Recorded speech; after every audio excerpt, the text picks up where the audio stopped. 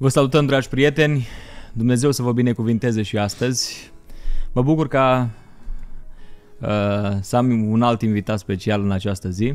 V-am promis că facem podcasturi, nu le facem regulat.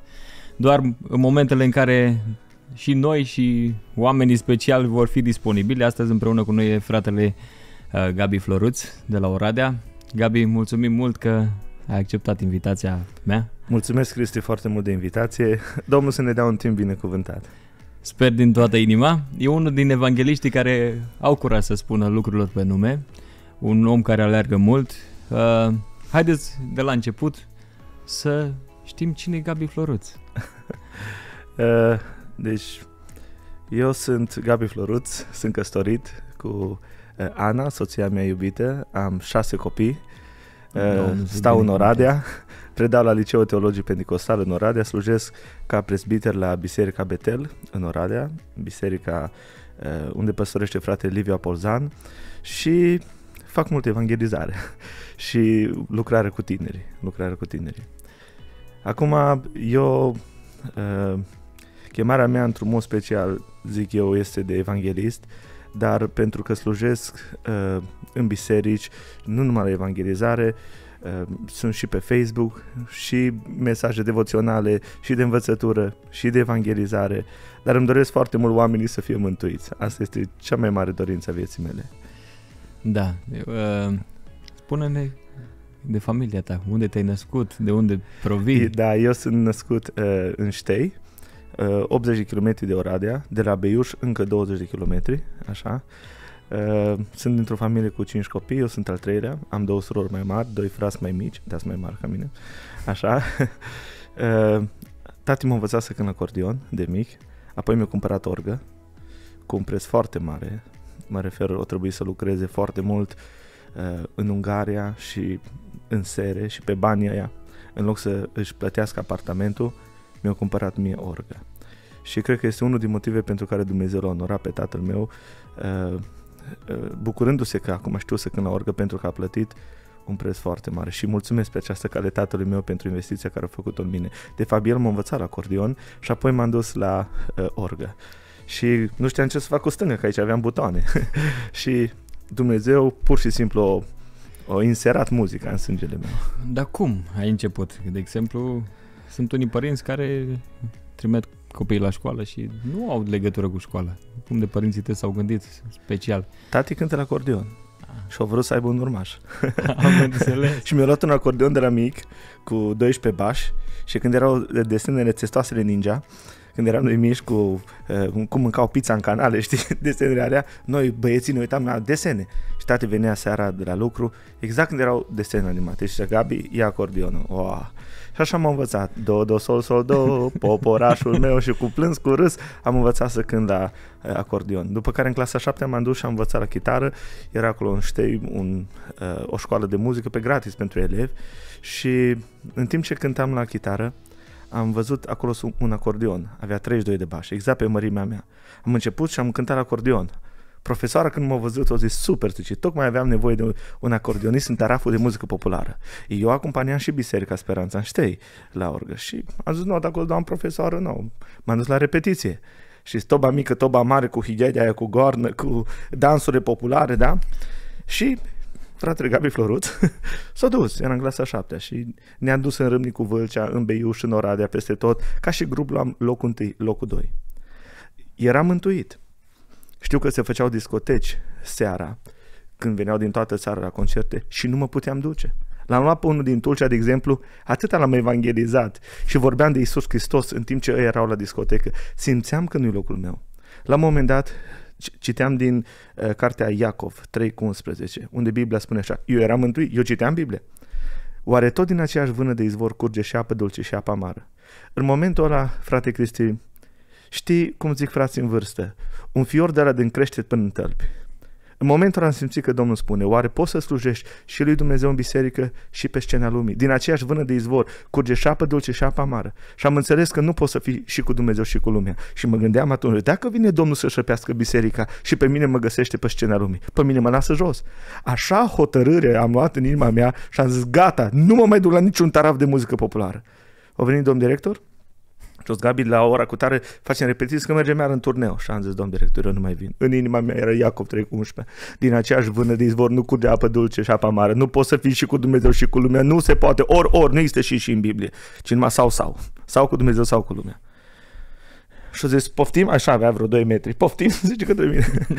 Zic eu, domn director, eu nu mai vin. M-a luat așa fain frumos după umăr, m-a dus în fața școlii de muzică și a zis, da, de, dar de ce nu mai vrei să vii? Și eu, direct, sincer, inocent, i-am zis, pentru că e păcat.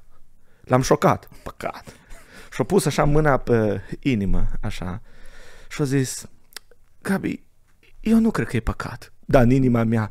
Nu știu cum să spun, frate Cristi. Era așa o, o, o, o întărătură de la Duhul Sfânt. Era așa clar că nu poate din aceeași vână de izvor să fii și cu Dumnezeu și cu lumea. Am simțit gelozia aia sfântă a lui Dumnezeu, că mă vrea 100% pentru el. Și am zis, domn director, eu nu mai vin. Mi-au promis că vom merge în Europa cu alte echipe ori or, or fost. Și am zis, domn director, eu nu mai vin. S-a ridicat, au intrat în școală de muzică, o dat cu ușa aia că am crezut că o sparge. De atunci au trecut mulți ani de zile. Multă vreme l-am salutat. Să trăiesc, domn director. nici nu mă mai saluta. Dar nici nu pasă, pentru că am pierdut relația cu un om, dar am câștigat relația cu Dumnezeu. Și vreau să vă spun că Dumnezeu onorează pe cei care îl onorează. Și cred că acela a fost un punct în care și pentru care, fără să cânt după note, când după auz, bineînțeles știu gamele și tot ce bag pe pian, dar uh, nu când după partitură, Dumnezeu pur și simplu a inserat a fost darul lui Dumnezeu. E adevărat, tati m-a învățat, o plăti foarte mult pe muncă grea, mi-a cumpărat uh, tot ce mi-a cumpărat ca să pot să cânt. Mi-a luat orgă fără ritm și îi mulțumesc, pentru că cu ritm stânga devine leneșă, știi? Și așa a lucrat Dumnezeu. Și acum vreau să mă ocup eu de copiii mei. Mă să mă Domnul să-mi găsesc timpul ăla, dar îmi fac eu timp. Îți faci tu timpul. Da, mă, ascultându-te, tot îmi dau seama că noi ne asemănăm un pic. Avem puțin cam aceeași, aceeași istorie, dar traseu diferit. La mine a fost total diferit. Tot așa părinții au investit mult în mine, au... Dar nu o să facem astăzi o dezbatere pe asta. Uh, doar că eu am ales să cânt în lume și mi-era rușine să mai merg la biserică. Mm. Poate că ar trebui să tragem un semnal de alarmă pentru cei care se joacă. Eu spun, din ce am experimentat mm-hmm. eu, că e foarte amar păcatul ăsta. În momentul în care anturajul te duce și nu poți să-l birui cum ai biruit tu. Da, poate Domnul la tine s-a descoperit într-un mod deosebit. La mine a trebuit părinții să se mute dintr-o zonă ca să mă scoată din anturajul ăla și să, mm. uh, să mă întorc la Dumnezeu cu adevărat. Ei știau că Domnul a pus în mine un dar. Acum știi, făcând uh, paranteza asta, îmi dau seama că avem puțin istorie asemănătoare, da, doar da. că traiectoria e diferită. Eu am rămas să cânt. Tu? și eu cânt, și eu cânt. da? Numai că uh, cred că darul de predicare e pro- mai proeminent, dar îmi place foarte mult să, să cânt la pian, uh, la chitară, la acordeon. Uh, una dintre întrebările care mi se pun la liceul pentecostal este următoarea. Domn profesor, e păcat să asculți muzică necreștină? Da sau nu? Știi? Întotdeauna este top uh, din întrebările care mi se pun. Răspunsul meu este cel din 1 Corinteni, unde Biblia zice așa. Fie că mâncați, fie că beți, fie că faceți orice alt lucru, să faceți pentru slava lui Dumnezeu. Și atunci o întreb pe domnișoara. Zic, poți să asculți pe destrăbărații de la Hollywood pentru slava lui Dumnezeu? Ți-l imaginezi pe Ioan Botezătorul cu căștile în urechi, baby, baby, baby, și apoi să vină să spună, pui de năpârci. Cine v-a învățat să fugiți de mânia viitoare? Ți-l imaginezi pe Domnul Isus Hristos?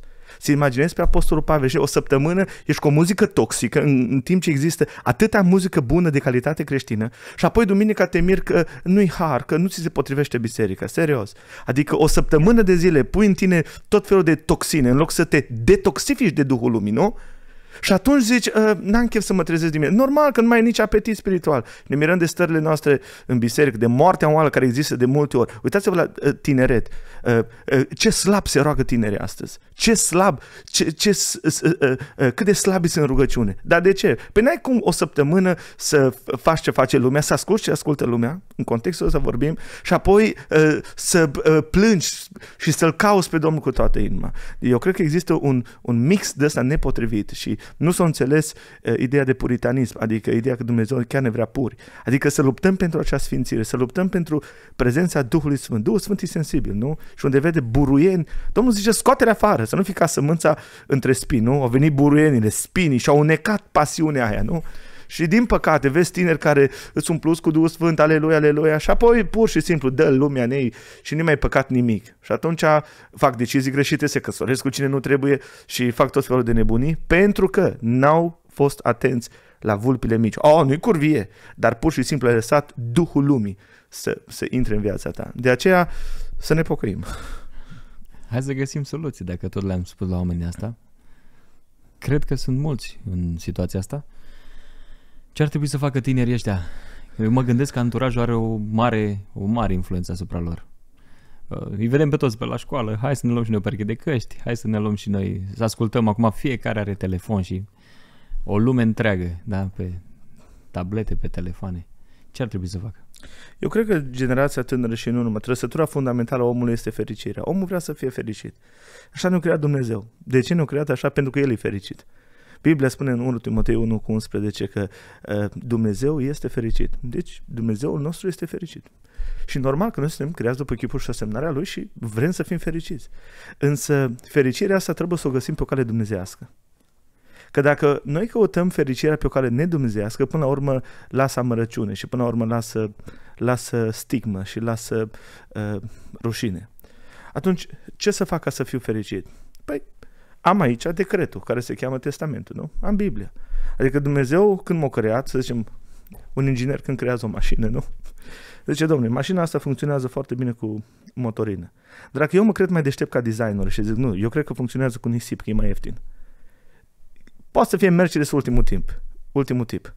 Mașina e să va bloca. Dumnezeu m-a creat după chipul și asemnarea Lui și mi-a lăsat aici decretul și a zis, uite Gabi, cum funcționezi tu cel mai bine? Păzești legile mele, faci ce spun eu și spun că vei fi fericit. De fapt, măsura fericirii noastre este numai măsura sfințirii noastre. Cu cât ești mai sfânt, cu atât ești mai fericit. Cu cât ești mai curat, cu atât ai mai multă fericire din partea lui Dumnezeu. Cu cât ești mai toxic spiritual, cu atât vei fi mai puțin fericit. Și atunci eu trebuie să mă uit să citesc Sfânta Scriptură. Cum își ferice de, sau zice Biblia, cum își va ține tânărul curată cărarea? Îndreptându-se după cuvântul lui Dumnezeu. Versetul 1 zice, ferice de ce, nu? Adică fericirea noastră este dacă păzim poruncile lui Dumnezeu. Sau cele nouă fericiri, ferice de, fericit, binecuvântat, norocos e omul care este sărac în Duhul și vede dependența, care își plânge păcatele și așa mai departe. Și atunci ce trebuie să fac? Da, există o, o presiune culturală, nu contestăm lucrul ăsta, dar eu cred că trebuie să rupem legăturile cu uh, preteniile rele, cu riscul că vei fi considerat gâscă, nu? Hai bă, nu, nu e și tu ce luăm noi, hai fă și tu ce, hai nu fi așa, ce, te tem de mama? Da, tu să spui nu, eu mă tem de Dumnezeu. Eu mă tem de, așa a făcut Iosif, nu? Iosif, cum aș putea eu să fac un rău atât de mare? A fost o presiune culturală. Sigur. În vremea aceea era ceva normal.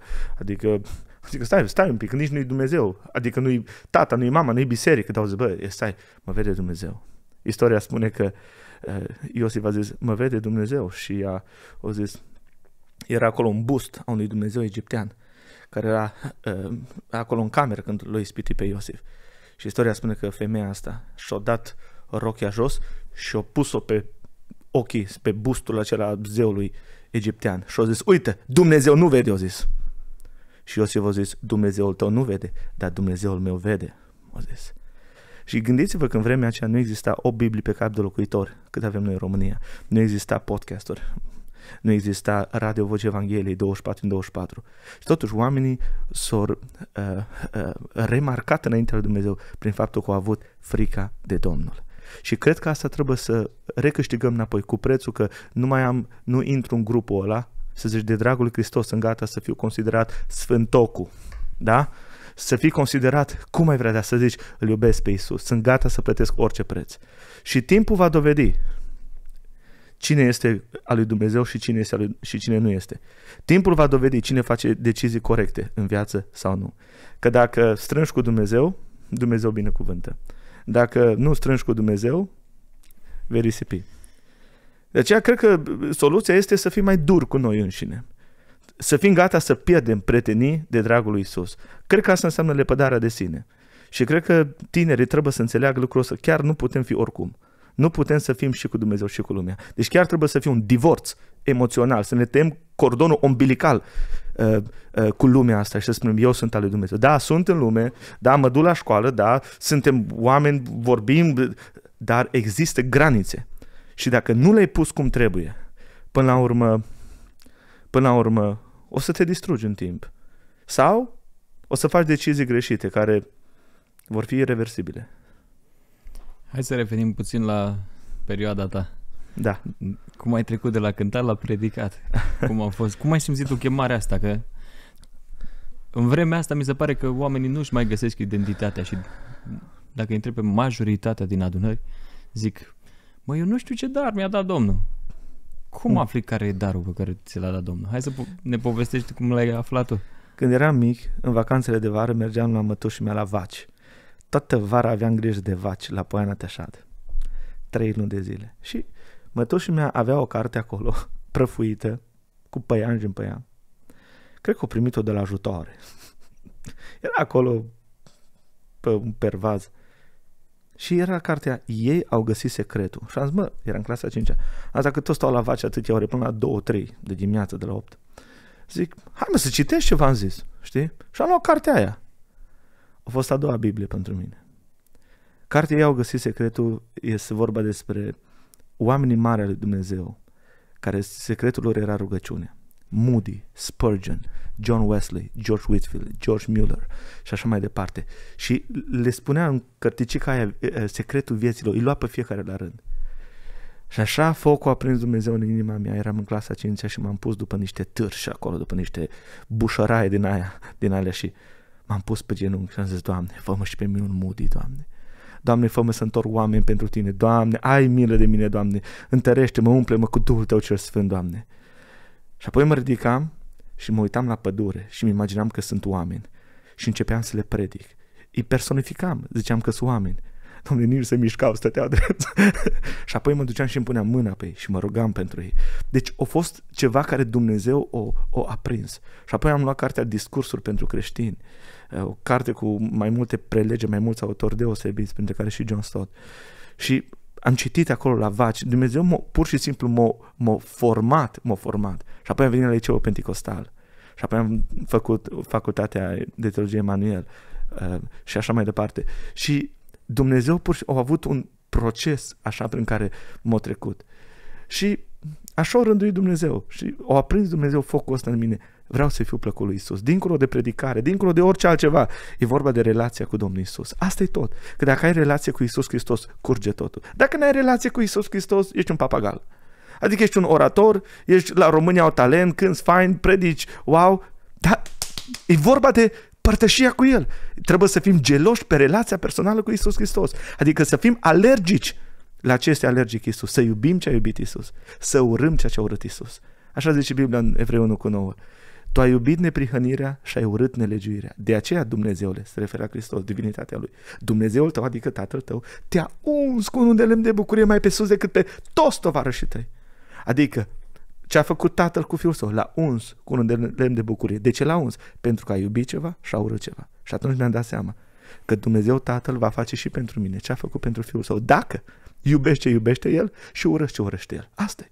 Și frate Cristi, noi știm un lucru, că în spatele cântării sau în spatele unei predicări trebuie să există o atmosferă pe care trebuie să o emanăm ca să atingă inimile oamenilor. Că altfel suntem la, ca la România au talent, adică uh, e un spectacol. Nu, urăsc lucrul ăsta, urăsc. Și din păcate multe uh, biserici și grupuri devin marketing, în care pur și simplu se dea bine pe sticlă, să aibă view, view-uri multe, vizualizări multe. Nu! Noi trebuie să fim dincolo de asta. Noi trebuie să emanăm acea atmosferă a Duhului Sfânt încât omul să fie atins. Să vezi că familia aia se împacă, să vezi că omul ăla se mântuie, să vezi că Dumnezeu i-a vorbit. Dar zice, nu știu, dar de, cum știu, cum a vorbit lucrul ăla? Să fii asistat de Duhul Sfânt. Și asistarea asta a Duhului Sfânt merge dincolo de o cunoaștere a Scripturilor sau o voce nativă și așa mai departe. Noi avem nevoie de o prezență a Duhului Sfânt, fără de care ne pierdem timpul ne, ne, ne fumăm viața, adică o irosim. Dacă nu, suntem asistați de Duhul Sfânt și la asta trebuie să lucrăm. Da, până și cei din lume. uh, Dacă îi Sunt mai vezi, bun ca noi, hai să fim sunt serioși. mai buni, dar vor ca să transmită. Nu? Și ei vor să transmită. Da. Acum depinde ce transmitem. Da. Nu? Putem transmite, putem fi de gheață, așa doar paravan, sau putem fi plini de Duhul Sfânt. Sau putem să imităm pe Duhul Sfânt. Știți că spunea Tozer că sunt foarte mulți predicatori astăzi care pun la anvon paie și pun lumini verzi. Și zice, băi, e verdeață, e verdeață. Adică fac ei artificii, mișcări de scenă, nu știu ce, fac cu un pian, nu știu ce, pac, pac, ceva să, să inducă starea aia. Hmm. Ei, dar oile când gustă, își dau seama că e o vrăjală. Își dau seama că e paie. Adică noi trebuie să fim natural, noi trebuie să fim originali, noi trebuie să stăm în cămăruță cu Domnul. Și îți spun, Cristi, când mă uit la viața de rugăciune a lui Isus Hristos, întotdeauna, întotdeauna mi-e rușine de mine. Zice Biblia în Evrei 5 cu 7 că El este acela care în zilele vieții sale pământești, aducând rugăciuni și cereri cu strigăte mari și cu lacrimi. Și când se ruga, nu doar în Ghețimani, în zilele vieții sale pământești, adică era un stil de viață. Dacă Iisus Hristos fără păcat stătea și se ruga înaintea Tatălui, cât ar trebui să ne rugăm noi? Cât ar trebui să stăm în așa fel încât puterea Domnului era cu el ca să vindece. Așa e întotdeauna, o putere a ieșit din mine. Înto- îl vezi pe Iisus Hristos întotdeauna în conexiune cu Duhul Sfânt al lui Dumnezeu. Da, noi atunci. Da, noi atunci. Domnul să se îndure de noi. Da. Că modelul nostru e Domnul Iisus Hristos. De multe ori îl zicem ușor așa din gură, Da. dar în realitate nu trăim. Doamne, ai milă de noi. Cam ce ține un evanghelist în picioare, Gabi? Cum? Ce ține un evanghelist în picioare? Evanghelia. Evanghelie. Evanghelia care, vorba lui Reinhard Bonke, nu este vestea bună. Evanghelia nu este vestea bună. Evanghelia este cea mai bună veste. Există multe vești bune în lume, vești bune în lumea asta. Dar Evanghelia e cea mai bună veste, care îmi spune că Dumnezeu m-a iubit atât de mult încât l-a dat pe Iisus Hristos să moară pentru mine. Dumnezeu, frate Cristi, nu ne putea ierta pe gratis. Pentru că Dumnezeu este nu numai bun, este și drept. Și dreptatea lui trebuia să fie satisfăcută. Fără vărsare de sânge nu este iertare. Și atunci Dumnezeu ce a făcut? Ca să rămână drept și bun în același timp. L-a trimis pe Iisus Hristos și dreptatea lui Dumnezeu a căzut asupra lui Hristos. Și Dumnezeu a găsit cu cale să-l zdrobească pe Fiul Său în suferință în locul meu. Astfel că Dumnezeu mă poate îmbrățișa pentru că dreptatea lui a fost satisfăcută prin moartea Fiului Său Iisus Hristos. De aceea, chiar dacă iertarea e gratis pentru mine, niciodată n-a fost ieftină. A fost vorba de moartea Fiului Său Iisus Hristos. De aceea obișnuiesc să spună evangelizări că oamenii nu vor ajunge în iad pentru că sunt prea păcătoși. Nu. Nu există păcat sub soare pe care sângele Domnului să nu-l poate curăți. Oamenii vor ajunge în iad pentru că sunt mândri. Măcar că au știut soluția lui Dumnezeu, măcar că au auzit de planul lui Dumnezeu, cu toate astea au fost aroganți și am zis, au zis, Doamne, e viața mea personală, nu te băga. Și vorba lui G.K. Chesterton spune așa, iadul este cel mai mare compliment pe care Dumnezeu îl dă libertății umane. O viață întreagă ai vrut să fii independent? Așa de multe respecte Dumnezeu încât zice, te las o veșnicie. Nu că Dumnezeu nu te putea mântui, ci că ai fost arogant și ai zis, nu voia ta, e voia mea, Doamne, e viața mea personală. De aceea îndemn pe toți cei care ascultă acest podcast să se smerească înaintea lui Dumnezeu, înaintea Fiului Său Iisus Hristos, să înțeleagă, să înțeleagă dragostea lui Dumnezeu și să nu ofenseze această dragoste infinită. Că dacă ofensezi o dragoste infinită, vei avea parte de o pedeapsă infinită. Și mă rog ca Dumnezeu să ne facă să capitulăm de dragul lui, nu de pedeapsa focului, și de aia, dar de dragul lui, că așa de mult m-a iubit Dumnezeu. Cred că asta este inima Evangheliei. Bunătatea și dreptatea se întâlnesc la cruce. Cum spunea tot Reinhard Bonnke, ce este crucea? Crucea este formată din două transversale. Este un mare minus, care este viața noastră, morți în păcatele noastre, care se transformă într-un mare plus când îl primesc pe Isus în inima mea. Dumnezeu poate să facă asta, să fiu pe plus când îl am pe Hristos și crucea Lui. Amin. Amin. Da, interesante toate lucrurile care le spui tu, dar un evanghelist ar putea fără rugăciune. Nu e ceea ce mă doare în vremea asta. Alergăm și noi în multe locuri și uh, sunt rugăciuni de un minut, două. Parcă nu mai avem așa dorință de a ne ruga. Nu mai există rugăciune cu pasiune, că asta ziceai tu mai devreme, că ar trebui să facem într-un mod special. Mm. Cum vezi lucrul ăsta? Hai să revenim puțin la rugăciune. Cred că e una dintre cele mai mari probleme care le avem și ar trebui cumva să le rezolvăm noi ca și biserică astăzi. Îi îți spun care e un pericol. Uh, unul dintre profeții Americii, supranumit profet Americii pe nume Tozer, cred că majoritatea ați auzit mm. de el, vorbea despre un evanghelist care l-a întrebat cineva, zis, când a fost ultima dată când ai stat tu cu Biblia și cu rugăciune, numai tu cu Domnul, în care să stai să ai părtășie numai tu cu Dumnezeu? Și zice el, arogant, eu de două săptămâni, deci nici n-am pus mâna pe Biblie, n-am timp de rugăciune și de Biblie să stau eu cu Domnul. Eu sunt invitat de pe stadion pe stadion, eu sunt invitat de la conferință la conferință, eu n-am timp de chestii de genul ăsta, îs pe val. Și Tozer spunea, după o scurtă vreme s-a auzit că marele evanghelist, bang, a căzut în păcatul adulterului. Așa este. Când nu te hrănești, când nu stai în priză, devii slab. Să nu uităm, Evanghelia este puterea lui Dumnezeu și dacă nu acumulez Evanghelia și dacă nu acumulez viața lui Dumnezeu prin rugăciune în inima mea, în fața ispitelor, voi fi slab. Deci asta este un, un mare pericol. Când vreau să fac lucrarea independent de mijloacele harului care mă împuternicește să fac și o fac din inerție, fără să am dorința aceea, fără să am măcar durerea aia, că nu mai cum am fost altă dată, măcar durerea aia, frustrarea aia sfântă, că nu mai stau cu Domnul, da? atunci să nu uiți că ești pe buza prăpastiei. Atunci ești pe buza prăpastiei. Oricine fi, oricine fi. Au căzut mari oameni al lui Dumnezeu. Mari oameni al lui Dumnezeu. Îmi vine în minte Jimmy Swaggart, care a fost mai bun ca Billy Graham. În anii 80 îl umbrea pe Billy Graham. N-a vegheat și a căzut. A fost un mare om al lui Dumnezeu.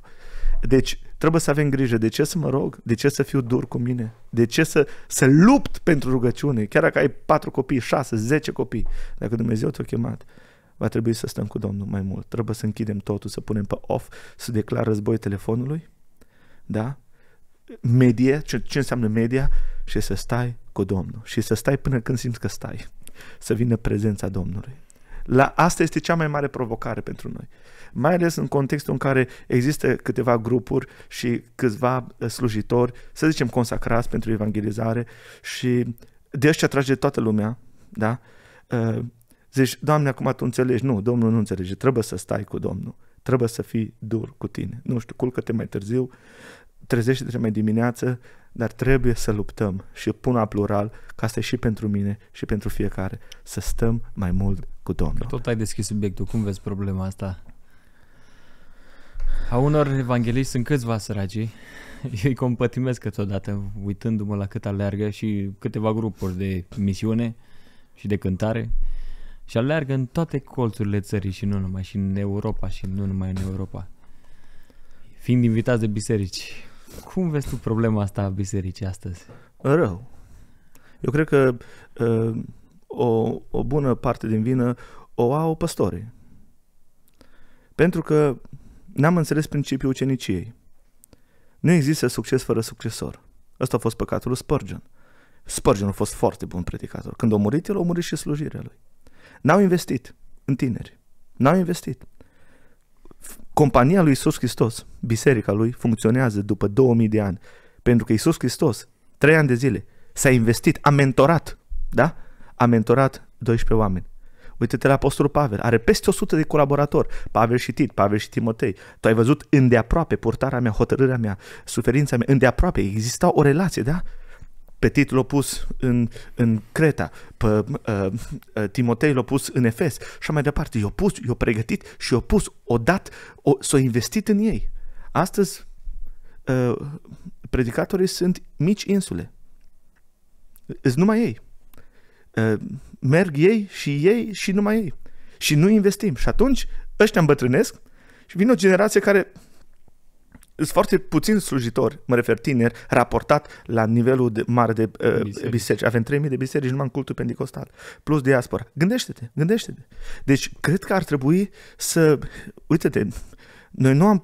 Moise a murit, dar Moise s-a investit într-un Iosua.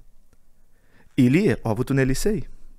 Întotdeauna vei vedea acest, această uh, uh, dare de ștafetă, care, din păcate, astăzi nu prea se promovează. Unii stau așa și țin danvanii și se betonează acolo, să nu cumva să... Și lucrul ăsta o adus, o adus o criză, spun eu, pentru că nu am promovat mentorația sau ucenicizarea, să mă vărs da? să-mi investesc darurile, talentele, să-l duc cu mine, să-l fac să crească la umbra mea, să nu mă tem că, nu? Că e mai bun. Să nu suferim de sindromul lui Saul. Știți, când uh, Saul a văzut că se ridică un David, o lua sulița. Ăsta e sindromul lui Saul. Și știi, spunea John Maxwell, spre exemplu, care e pe lider și spunea în felul următor. Când eu sunt liderul, senior, nu? și se ridică unul, bă, la care Domnul îi dă har, bă, și biserica îl iubește. În loc ca să îi dau aripi și să zic ca Ioan Botezătorul, eu să mă mișorez ca el să crească, noi de multe ori îi punem mâna pe, pe umeri și îl apăsăm în jos. Nu, că ios, mă, ios, ios. Și când îl apăsăm, spunea John Maxwell, nu uita că și tu cobori în fața adunării împreună cu el. Și tu cobori când îl apăși.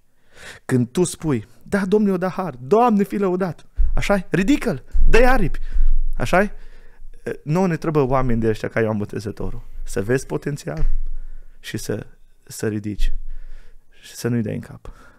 Eu am avut harul. Am avut oameni care nu mi-au dat în cap, care mi-au dat aripi. Și sunt ceea ce sunt datorită harului, darului Dumnezeu, dar și datorită unor oameni care, care cărora nu le-a fost frică, ci m-au promovat, în sensul bun al cuvântului. Da, auzeam pe cineva zilele trecute făcând o comparație sau aducând o imagine. Dacă pui o sămânță de castan într-un ghiveci, niciodată castanul ăla nu o să se dezvolte, ci o să crească puțin. Dar dacă îi dai posibilitatea să crească într-un pământ bun și îl prelucrezi, cred că e același, aceeași poveste de care ziceai tu mai devreme, cred că se poate dezvolta și Dumnezeu poate face mari lucrări. Dumnezeu lucrează prin oameni. Eu vreau să continui ideea asta. Dacă ești o castană de aia pusă într-un ghiveci și vezi că nu te dezvolți, ieși din ghiveciul ăla. Deci dacă ești într-un context în care nu poți să crești și nu ești lăsat să crești, mută-te la altă biserică. Clar. Adică dacă Dumnezeu ți-a dat un potențial și simți focul ăla, nu? Zice, Ieremia, vreau să tac, dar nu pot, că este un foc în mine. Și pur și simplu te sufocă atmosfera și uh, modul în care pur și simplu îți spune lacăt. Ce să faci atunci? Vrei să te dezvolți? Du-te, caută o biserică, oameni care să-ți dea aripi, care să, care să crești spiritual.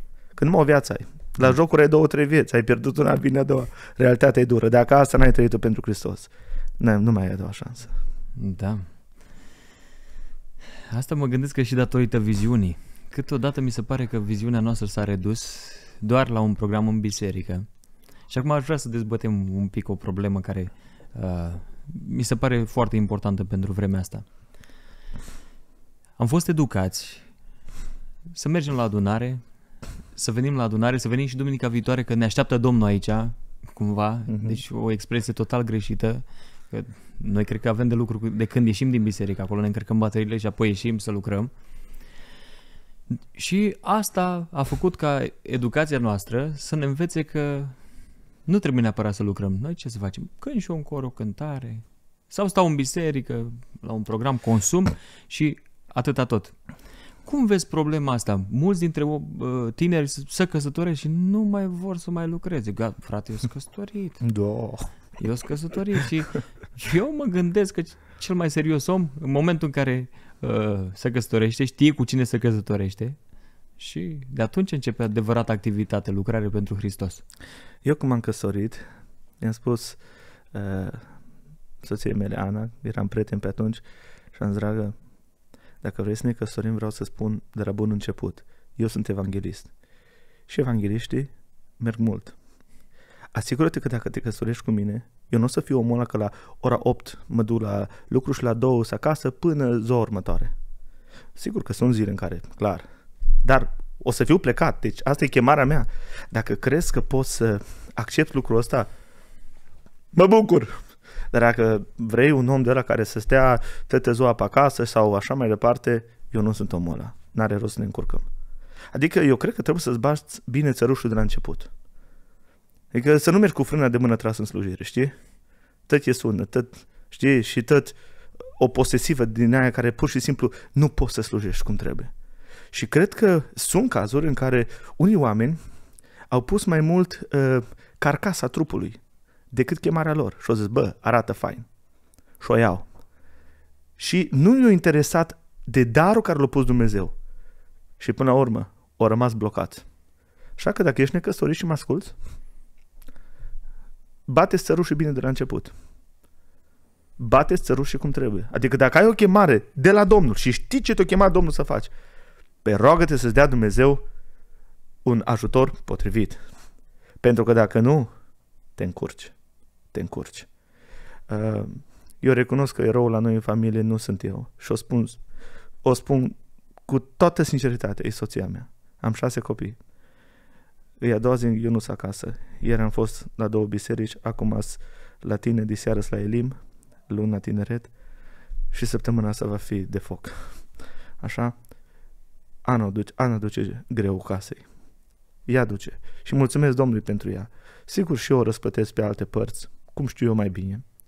Și Dumnezeu nu se lasă dator la nimeni, dar vreau să spun, eu pot să fac ceea ce fac pentru că mă înțelege. Zile trecute mi-a zis, Gabi, vii cu noi la lider să facem niște cumpărături generale pentru școală, pentru copii, nu știu ce. Și zic eu, Ana, nu vrei să merg numai tu cu copii, să stai o singură o oră, două acasă, să pot numai să citești, să mă rog, să am liniște, să nu mai aud gălăgie în casă.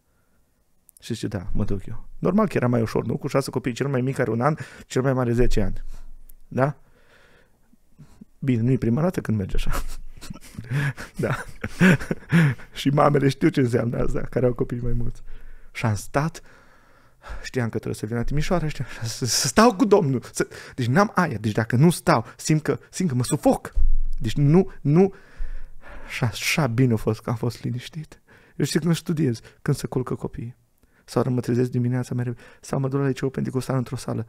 Uh, no, copii, gălăgie, vine la micuț, tati, și eu studiez sau fac video pentru Facebook și aud gălăgie, opresc. V-am spus să tăcesc că fac video. Și, și iară, și atunci fac așa când găsesc portița aia, că totdeauna sunt copii, nu te poți supăra pe ei, dar deci există un preț de plătit. Și atunci te căsătorești, deci m-am căsătorit și ce dacă ești căsătorit, tu nu vrei răsplată?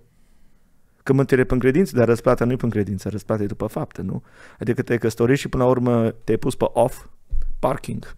Te-ai parcat, gata, pe dreapta. Deci asta este o filozofie drăcească.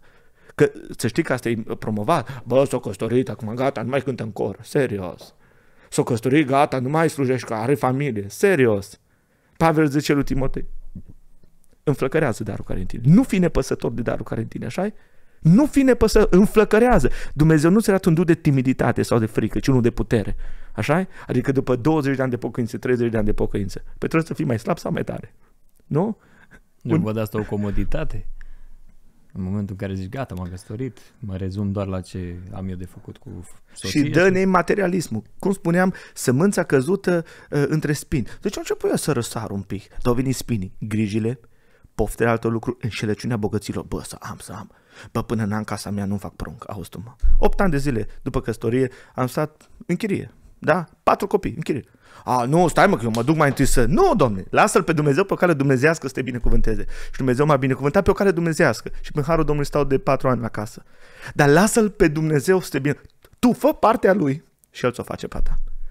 Și când o face, o face într-un mod original încât zici, aici a fost degetul lui Dumnezeu. Când vrei tu să faci tu partea ta și lași lucrarea la care te-a chemat Dumnezeu, nu ești, nu ești împlinit nici acolo, că nu e așa bine, dar nu ești clar nici din punct de vedere spiritual și ajungi la 80 de ani să fii o mumie spiritual pentru că te-ai gândit să faci case la tăți pruncii și ai neglijat darul tău și chemarea ta. În loc să aibă și aventura credinței, lasă să umble și pruncii tăi în credință. Nu le fătura tăți casă cu prețul, nu e rău că le poți face, dar cu prețul că ți-ai neglijat darul care ți l-a pus Dumnezeu în, în tine. Deci, asta mi se pare ceva anormal.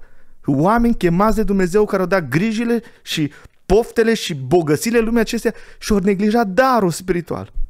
Ca să facă la tăți case. Serios, dar te-a chemat Dumnezeu la asta? Dumnezeu te-a chemat să ascuți săgețile, să-i pregătești pentru marele războinic. Nu? Să-i duci din cuvântul lui Dumnezeu. Și apoi Dumnezeu îi va folosi și le va da și lor pâine așa de toate zilele. Am sărit calul. Am sărit calul ca generație și pentru asta oameni cu potențial s-au stins spiritual pentru că n-au mai pus împărăția pe primul loc, ci au pus confortul sau au pus bogățiile. Și asta e, asta e, asta e tragic. Asta e tragic la noi, la români. Da, Dumnezeu ne-a dat, ne-a binecuvântat cu toate binecuvântările. Avem toate posibilitățile să facem, să lucrăm pentru cer. Nu cred că uh, ne-am putea uita de ceva, nu? În vremea mm. asta. Și mai e un lucru. Uh, unu, bateți bine țărușii înainte. Așa. Domne, poate să arate ca și nu știu care.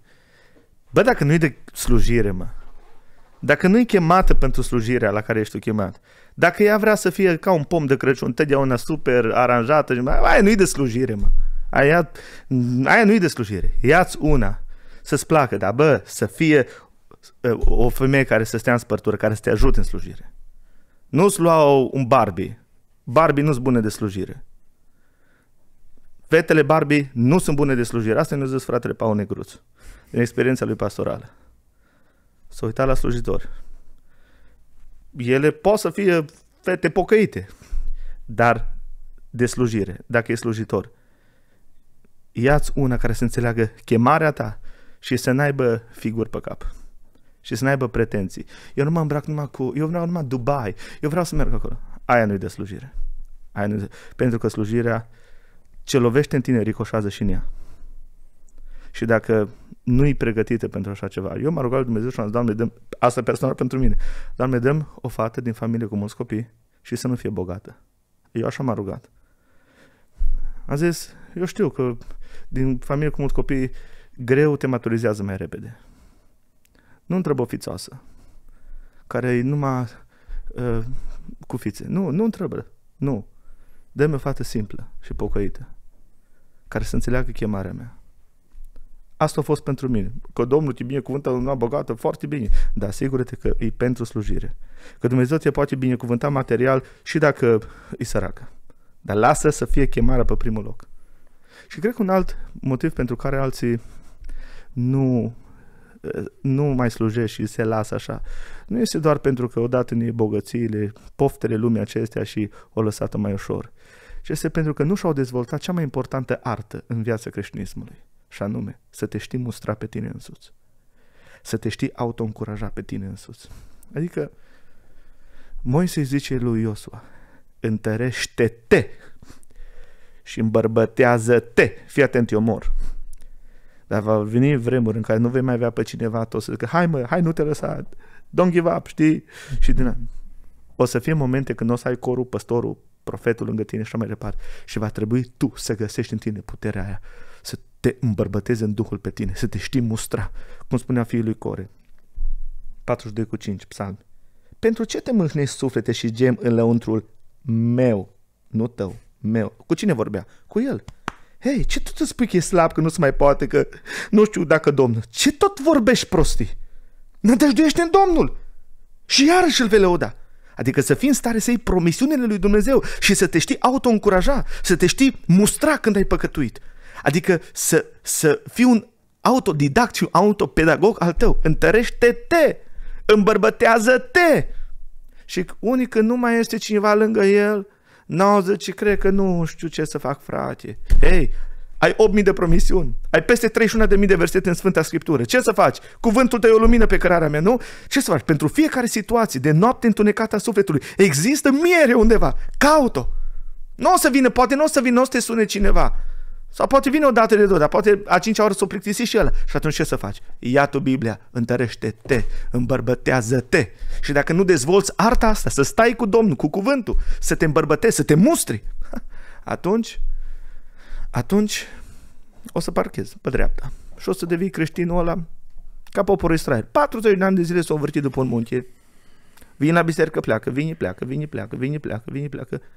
Vorba lui Moody, din 20 de creștini, 19 zice, nu-ți dă nicio treabă pentru lărgirea împărăției lui Dumnezeu. Pentru să câștige suflete. Am auzit o soră care mi-a zis, frate, zice, botezată de Domnul cu Duhul Sfânt de la 12 ani. Am 50 de ani de zile pe calea lui Dumnezeu. Deci eu nu știu să se fi întors cineva până mine la Domnul. What? Să ai 50 de ani de zile pe cale? Și să nu știu un suflet care să fie întors la Domnul? De ce ne dă Dumnezeu Duhul Sfânt? Ca să fiți martori. Și în limba greacă vine de la rădăcina martiros. Să fii gata să mor pentru Domnul Isus, pentru Evanghelie. Nu? La asta mă cheamă Dumnezeu. Așa că dacă ești mântuit, rogă-te, Doamne, umple-mă cu Duhul Sfânt, care este o, o continuitate, da? Odată zice în Biblie, fiți plini de Duh și este la un prezent continuu. Nu odată și pentru totdeauna. În fiecare zi, Doamne, umple-mă cu Duhul Sfânt. De ce? Să fiu, să fiu o unealtă, să fiu un ambasador al împărăției tale. Și Domnul să ne ajute pe fiecare la asta. Amin. Acum vreau să fii sincer cu mine, vreau să spun o întrebare. Care e durerea din sufletul unui evanghelistului Gabi Floruț? Că nu cu prunce mai mult acasă. Asta, Asta, e asta e cea cea mai mai mare. mare. Și dacă ar trebui să schimb ceva, ce ai schimba? Hm. Cumva, hai să pun întrebarea diferit. Mă privește și pe mine. Câteodată citeam în Biblie că unii oameni mergeau la război și alții ce făceau? Rămâneau la calabalâcuri, Hmm. nu? Da. Cum vezi situația asta din adunările noastre? Uh, Pe Billy Graham nu întreba dacă ar trebui să schimb ceva, ce ai face? O să- Aș predica mai puțin și asta mai mult cu familia. Și e adevărat lucrul ăsta. Când am citit eram așa mai mic. Nu înțelegeam de acum. Evident, Billy Graham mergea șase luni. Ce, eu lipsesc câteva zile sau... Dar bine, în mod constant. Știi? Uh, Dar avea dreptate. Avea dreptate. Avea dreptate. 100% avea dreptate. Va fi o răsplată. Asta mă ține. Pun împărăția pe primul loc, evident, și familia. Și durerea e că, de exemplu, eu sunt plecat și Ana merge singură cu copiii la biserică. Aș vrea să fiu și eu cu ei.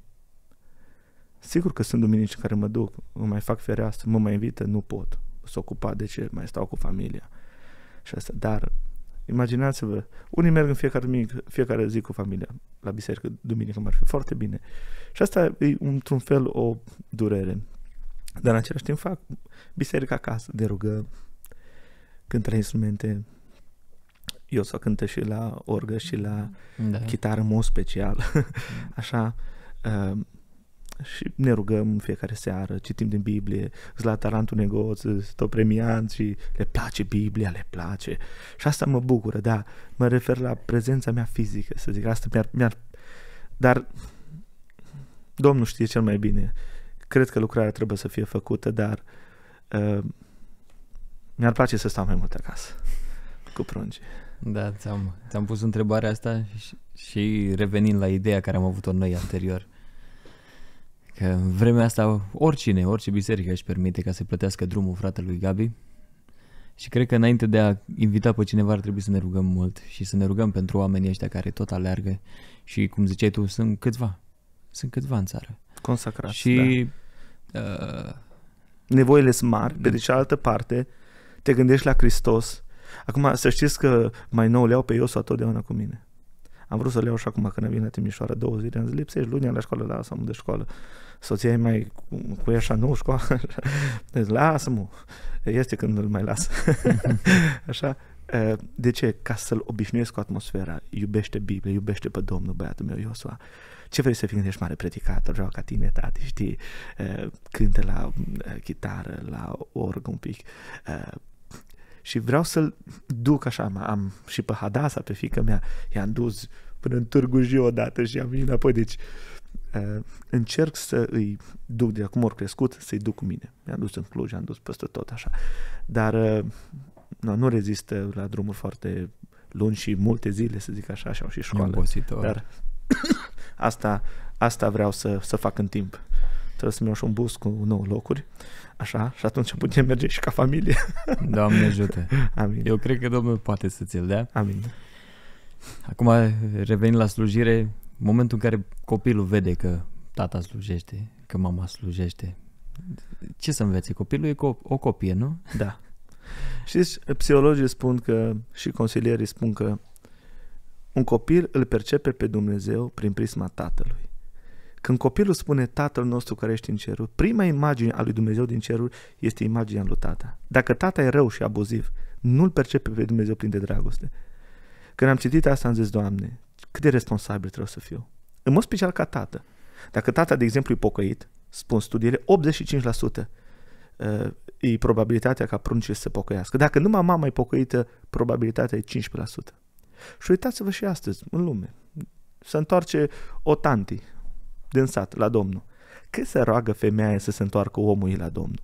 Ani mulți să se întoarcă omul ei la Domnul. Dar când se întoarce el, bă, tătă, familia și nevastă să pocăiește și pruncii. Există ceva pus de Dumnezeu în om, în bărbat, talpa casei, autoritatea aceea pe care Dumnezeu ne-a dat-o prin designul creației.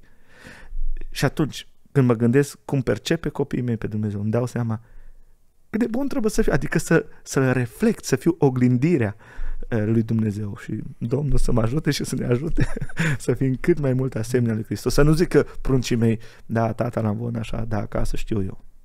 Știi? Asta e criza, nu? A, a, asta ar fi o criză teribilă, ci să zică, bă, tata e pocăit, îl văd cum se roagă. Mă duc în cameră, bă, el e pe genunchi, îl văd cu Biblia. Inclusiv poziția în care citesc Biblia câteodată în pat sau la birou sau cum stau așa, mi-o imită copiii. Deci inclusiv uh, poziția. Deci ei imită tot, imită tot.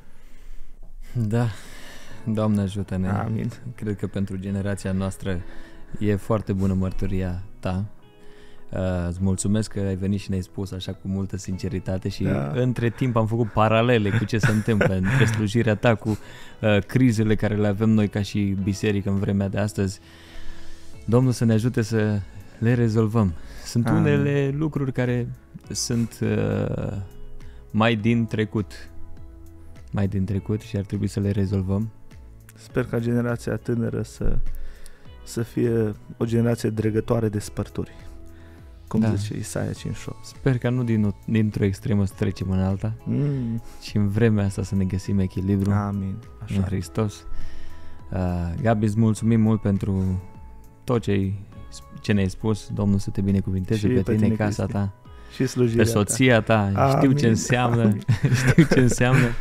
și Domnul să mântuiască cât mai mulți oameni Rugați-vă mult pentru slujitori, rugați-vă ca Domnul să-i țină tari, să-i ocrotească, sunt multe drumuri, multe peripeții. Uh, mi-ar fi plăcut să te mai întreb, hai spune-ne acum la sfârșit una din peripețiile care le-ai avut în lucrarea de misiune, uh. să terminăm așa într-un mod uh, uh, mai cu zâmbet. uh, sunt multe, acum să vă spun așa, eram acelea Timișoara, nu?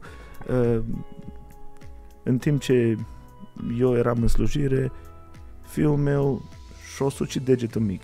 Eu le văd asta ca atacuri din partea celui rău, știi, ca să, să aducă un dezechilibru sau ceva. Nu, du-te la urgențe, du-te, nu știu ce vezi, e fracturat, e rupt sau nu știu ce. Se întâmplă lucruri așa care pur și simplu se aduce întristarea aia, știi? Deci suntem într-o bătălie, asta vreau să spun. Și ceea ce numim noi de multe ori peripeții, de fapt, sunt lucruri care ori vrea să ne distragă de la Uh, focalizarea pe Evanghelie, ori să ne aducă o anumită întristare, te gândești acolo, iară sun, iară nu știu ce, dar am înțeles un lucru.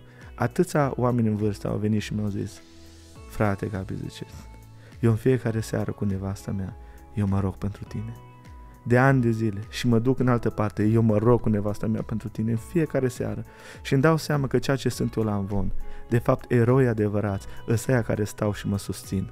Eu sunt doar un produs, să spun așa, a multor eroi necunoscuți care îmi țin mâinile ridicate. Asta e. Și Domnul să binecuvânteze pe toți mijlocitorii și, și familiile noastre. Amin. Amin. Domnul să te binecuvânteze. Amin. Și pe tine, Cristi.